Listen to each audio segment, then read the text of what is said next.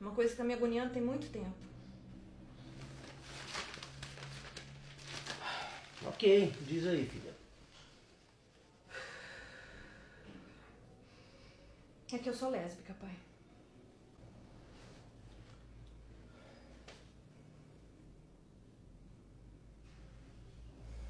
Tudo bem, filha. Eu te amo do mesmo jeito. Você é minha filha querida, né? Eu quero que você seja feliz.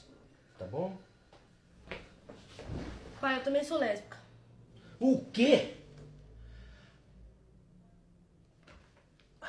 Tá bom, como eu disse pra tua irmã, eu também te amo e quero que você seja feliz. E pai, eu também. Puta que o pariu! Aqui nessa casa ninguém gosta de macho, não é? Papi,